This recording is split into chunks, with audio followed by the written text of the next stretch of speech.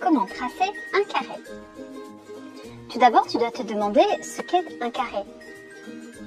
Un carré est un quadrilatère qui a quatre angles droits, c'est-à-dire que chaque côté est perpendiculaire à un autre.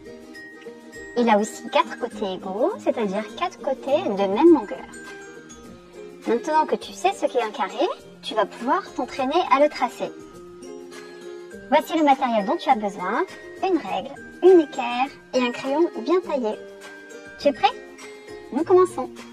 Je veux tracer un carré de 10 cm de côté. Avant de commencer, je vais d'abord faire un croquis, c'est-à-dire un brouillon de la figure que je souhaite obtenir. C'est un dessin qui est tracé à main levée, sans mesure, et qui me permet de penser à toutes les caractéristiques de mon carré.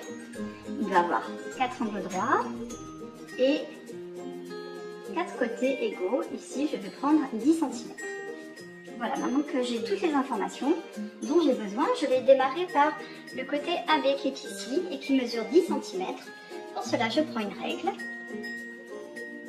Je mesure un segment de 10 cm.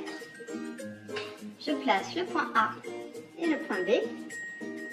Tracer ce côté-là. Maintenant, je vais faire un baissier. AB est perpendiculaire à BC, donc ici j'ai un angle droit. Pour cela, j'ai besoin de l'équerre.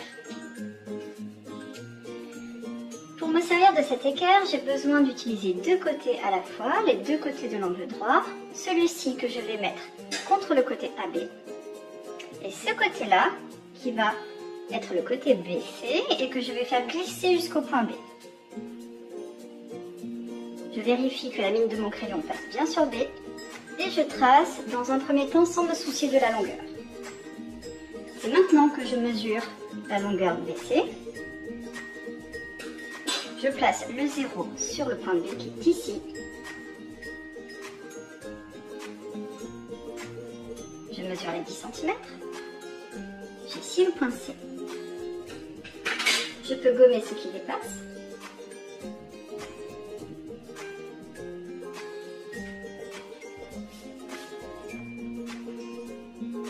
Maintenant, je vais tracer le côté, euh, opposé, AD, de la même façon que BC je vois que AB et AD sont perpendiculaires. Ici, il y a un angle droit, donc j'ai encore besoin de l'équerre. Je vais utiliser les deux côtés de l'équerre en même temps.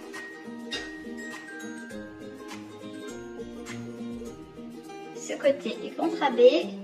Le deuxième côté va être le côté AD que je vais tracer. Je vérifie que la ligne de mon crayon passe bien sur le point A. Et je trace dans un premier temps sans mesurer de longueur. J'ai ici un angle droit. Et c'est maintenant que je mesure les 10 cm de AD. Attention, le point A est ici. C'est là que je dois mettre le 0. Les 10 cm sont ici. Voici le point D. Je n'ai plus qu'à relier D et C pour fermer mon carré. Et au passage, je vérifie que j'ai bien 10 cm de longueur. Je peux maintenant gommer ce qui dépasse.